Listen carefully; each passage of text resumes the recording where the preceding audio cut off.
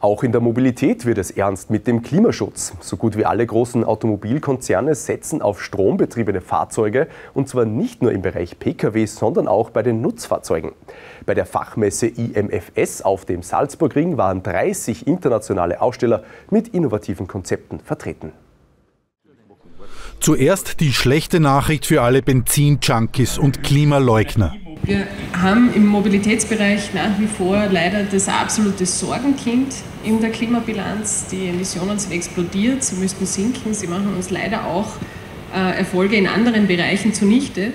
Das Schöne ist aber, das heißt umgedreht, dort liegen auch die riesigen Chancen im Klimaschutz.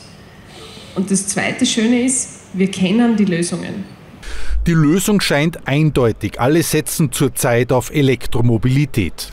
Auch die Salzburger Nachrichten, die diese Plattform für ressourcenschonende Mobilität initiiert haben.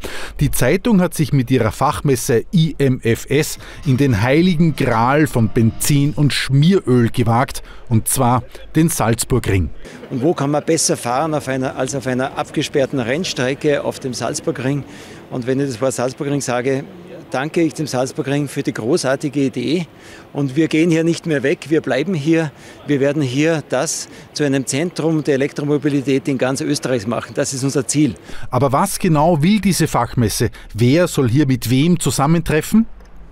International renommierte Firmen präsentieren ihre Neuigkeiten und sie beraten Fuhrparkmanager, Verkehrspolitiker und Gemeindevertreter über die Kosten, Förderungen und Vorteile bei der Umstellung auf Elektromobilität. Ich muss ganz ehrlich sagen, ich bin wirklich überwältigt, was diese Show alles zu bieten hat. Man kriegt jetzt einmal einen Eindruck, wie weit die Elektromobilität schon fortgeschritten ist und wie weit alternative Antriebe schon fortgeschritten sind. Sowohl im individuellen Bereich, was die Privatnutzung betrifft, als auch natürlich im öffentlichen Verkehr. Also das muss ich sagen, das hat mich schwer beeindruckt und ich bin schon äh, gespannt jetzt auf meinem Rundgang, was mir da sonst noch alles so begegnen wird.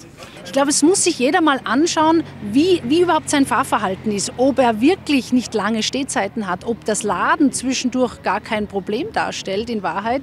Und es gibt heute schon Reichweiten jetzt, die von 700 Kilometern werden in Aussicht gestellt. Also da kommt man schon nach Wien und Retour ohne Laden. Bei Fahrrädern und Privatautos scheint der Siegeszug des Elektromotors kaum zu bremsen. Aber wie sieht es bei den Nutzfahrzeugen aus? Busse und Müllabfuhr, okay. Aber jetzt sogar die Feuerwehr? Wenn man sich einmal das Einsatzgebiet einer Feuerwehr anschaut, dann wird man sehen, dass die Reichweiten für eine Feuerwehr überhaupt kein Thema ist. Und das ist eigentlich prädestiniert für ein Elektrofahrzeug. Äh, wenn man eine Beschleunigungsfahrt von diesem Elektrofahrzeug gegenüber einem vergleichbaren dieselbetriebenen LKW sich anschaut, wird man sehen, dieses Elektrofahrzeug gewinnt jede Beschleunigung im Vergleich zu einem Diesel-LKW. Von daher, wir sind schneller am Einsatz als mit diesem Fahrzeug. Technisch dürfte die E-Mobilität zum Teil schon recht gut funktionieren, auch wenn es vielerorts noch an der Ladeinfrastruktur mangelt. Aber auch dafür ist die Fachmesse der Salzburger Nachrichten die ideale Plattform für Beratung und Information. Also für mich ist absolut wichtig, welche Entwicklungen es gibt im E-Mobilitätssektor und wie wir jetzt Schritt für Schritt auch unseren Fuhrpark in der Stadt umstellen. Das ist das nächste große Programm, dass wir wegkommen von den Dieselfahrzeugen hin zu wirklich klimaneutralen Fahrzeugen. Und jetzt geht es daran, wirklich Nägel mit Köpfe zu machen, um Schritt für Schritt aus den Dieselfahrzeugen, aus den großen Dieselnutzfahrzeugen aussteigen zu können.